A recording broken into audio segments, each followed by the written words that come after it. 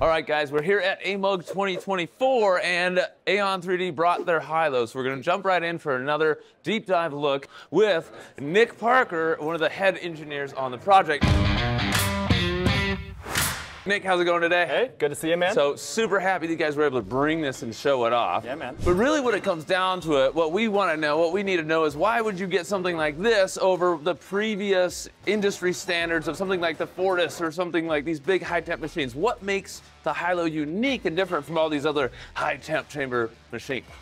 Yeah, why would you buy Hylo? I mean, it depends who you are. If you're just trying to make jigs, fixtures, you're chasing reasonably easy printing in high performance materials that are going to be able to meet your use case. This is the first open market high temp machine that you're actually going to like. It's not going to drive you crazy. It's more or less just going to work at the touch of a button. We've got a thermal simulation. Even if you're trying to do Ultem, you're trying to do high performance materials that are usually going to be a very high skill thing. You know, we hire a lot of PhDs it'll mostly just work. And then at the other end of the scale, if you've got genuine cutting edge problems, if you're trying to certify parts for flight, if you've got novel plastics, if you're trying to do the crazy stuff and you, you know, you consider yourself a leader, this thing's got every sensor you could possibly want. It's crazy repeatable, super deterministic, and it's pretty much the best possible R&D platform. Nice. Yeah, we definitely can relate to the, uh, you know, high temp materials are generally very, very challenging. On open systems you're dealing with, you've got temperatures, but all those geometries and everything are going to be different and behave differently. So a lot of it's on the software side. Can you tell me a little about how you make this easier with all the new software and AI and whatnot behind it? Yeah, sure. So a lot of the easiness is just, hey, there's nice workflows on here. You can see some of the buttons. They play nice. Yep. But where we really shine is we've got a thermal simulation that's actually running through your part about a quarter second at a time, about a quarter millimeter at a time, and it's pretending to deposit every tiny little fleck of plastic and then simulating over the full print duration hey, how hot is each of those little drops gonna be? So that matters because when you come back and put another bead on top, if the previous layer's gotten too cold, it's gonna be beautiful. It'll look like a nice part, but it'll fail at right. half your expected strength. Right. And then also, if you're going to overheat, we'll catch that too, but overheating doesn't scare me that much. You can see, worst case, you waste some plastic overheating. Right. Underheating, you're going to like crash a plane. Right. And then on the other side of it, once you've got a beautiful plan from our thermal simulation, this machine will do a beautiful job executing it and it'll tell you if it manages to mess up. Right. So if you've got a tiny Right. fleck of plastic Yeah. in there, if you gave us some junk material that's undersized and the diameter sensor somehow misses Yep. it, if anything goes wrong, those sensors are going to light it up like a gunshot wound So one of the big things is the the not only the simulation, so you, you know where the part might mess up based on mm-hmm. machine learning data from thousands and thousands of prints, but during the process, it's using all the sensors to record what happens and what happened so you can Yeah. see how hot it actually was. One of the big things we see on the open systems is like Ultem 1010 will blob up on the nozzle and it'll deposit that blob somewhere on the part and mm-hmm. then it's jumping it. But if you're gone, you let it print overnight, you might not even see that. It might be mm-hmm. internal, it might be in the infill. So with the full sensor gamut throughout the process that's mm-hmm. recording, you can actually detect that. Yeah. Why is that important? And who's that important for? Yeah. It's important for, I mean, really anybody. If you're just trying to learn how to run the machine, Yeah. this is sort of the benefit of force sensing that people don't think about. We're all very good at 3D printing. We know how to look at this chunk of plastic and say, oh, exactly X, Y, and Z went wrong with that. I know how to fix that. Off I go back to the slicer, easy peasy. If you just bought a new machine, you just joined a company, you're growing fast, this beautiful Hylo is treating you very well, you've bought more, your poor operator does not know how to read the tea leaves in a chunk of Ulta. And so the force sensor data says, oh, hey, look, your first layer is a little bit over extruded, like, uh, you might have let that hydrate a little bit. So it really cuts that learning curve. Yeah. But then where it really, really shines is, like I said earlier, if you're trying to do certified aerospace, if you're trying to do anything with any criticality, if you care if your parts are strong, then you want force sensors on there to tell you if they come, came out right. So what, what type of anomalies during the print and defects can you detect with this tech? Yeah, so there's a lot of boring ones. We've got uh, sensors down in the feed assists in the material management drawer. Okay. That'll tell you, hey, are you giving it enough plastic? It'll me- measure the diameter of everything coming through and compensate that. Okay. There's tension compression sensors. But what we're really excited about is force monitoring and the simulation. So the two scariest things, if you've got a critical use case, are cold welds and debris inclusion. Cold welds, you have a part that looks totally fine, comes off the machine, maybe prettier than your average part, but because some section of it got a little bit too cold before that next layer came by, it's just crazy weak. We're talking Right. half of your rated strength. You put that into use, it's gonna break, and you know, maybe you just printed on a cold Tuesday, so most of your parts are fine.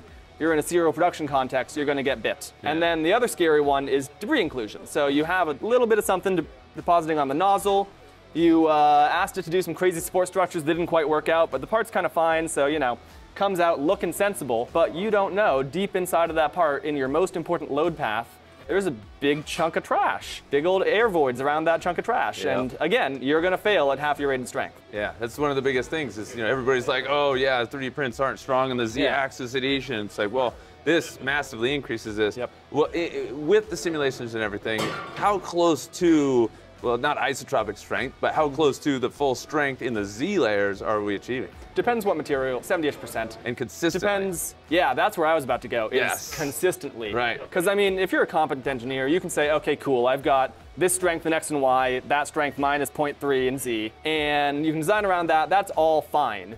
The reason people don't fly FDM parts, the reason people don't trust FDM parts, is because the error bounds are way the hell too big. And so that's what I was saying earlier with determinism. This thing's got a ton of work put into it to make sure that you've got super accurate positioning, even at 250 Celsius. Your bed's still dead flat.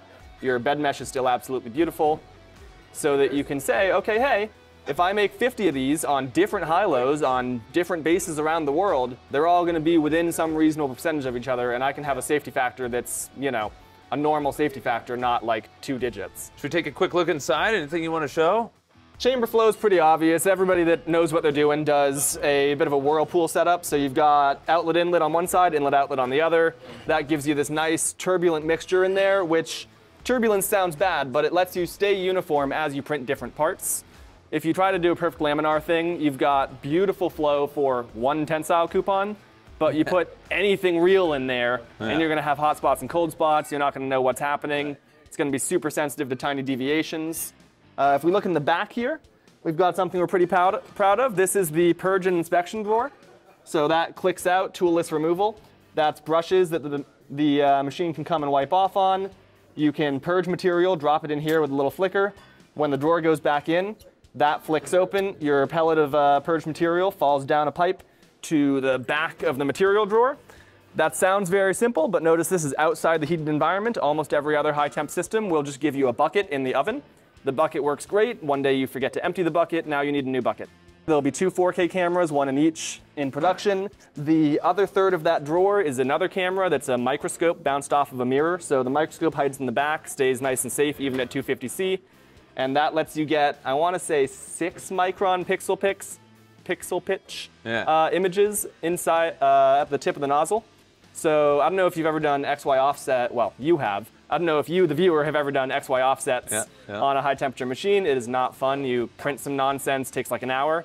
On this machine, it's about two minutes. Each each nozzle just comes over, gets a little selfie taken. The software compares the two of them, and off you go. Yeah, yeah. Simple solutions that are highly effective. Yeah. Like I said at the beginning, if you're just trying to get good parts in high temp materials, you will actually like this machine. Right. And I don't think anything else on the Yeah. open market can say that. So it's kind of like this eliminates a lot of the okay, we're going to print it 16 times until we figure out the exact way, and then we can do it for the most part consistently. This is like eliminates a lot of that guessing and checking with the AI and machine learning, and just with the general workflow of it. Uh, that's awesome. What kind of build plates are you using? Uh, this one's CF PEEK. We really love it when we can get away with it. It's uh, carbon fiber's magical. It shrinks when it gets hot. It really, really likes to let go of your part when it cools off. Yeah. Super easy. Some materials don't like that, so this is a vacuum chuck. If you need to put something special on there for the pickier plastics, super easy. All right, so you know one of the, one of the huge things in uh, in the industry right now, I'm going to shut this, is print speeds. You see people taking any kind of you know Core XY machine, they're like, oh look, I'm going 1500 millimeters a second, and then you've got some companies that went super fast, but it physically doesn't necessarily make sense. You're flinging material everywhere. How fast can you reliably print on this machine? Mm-hmm. And depending on the material, of course. depending on material. Okay. But Yep. so this little guy is a Hylo hot end. If you're watching this on YouTube, you probably know Vez 3D, and the guts of this thing are very, very similar to a Goliath, except integrated for high temperature. So this outer tube here is Invar. That's a structural system that allows it to be dead stable as you heat it up. So the heater core in there gets one 1.2 millimeters longer when you send it to 450C. The Invar outer tube doesn't change at all, so your nozzle stays in the same place. On the tip here, you have a non-stick shield with tiny little holes in it for uh, compressed air part cooling. Part cooling isn't super often something that you use in high temp land, but if you've got a thermal simulation, then you can say, all right, I'm gonna hug the hot side of, of my processing window. I am never, ever, ever gonna have a joint that gets too cold. And for the four or five spots that the simulation tells me you're gonna get too hot, I'm just gonna blast them with air. Uh, you were asking about print speeds when I pulled Yep. this thing out. So 100 cubic millimeters a second in PETG and other commodity materials. 30, 40 in Ultem. Depends on your bravery for PEEK. Yeah, I like that answer because it's cubic volume. Cubic millimeters per second. Yeah, I, Right, as opposed to The oh, gantry- 500 millimeters a second. The It gantry will rip 600 at 1G. Right, Um, yeah. But that's, you know, you put a junky nozzle on that, that's not going to do anything. right. Oh, uh, speaking of non-junky nozzles, that's tungsten carbide.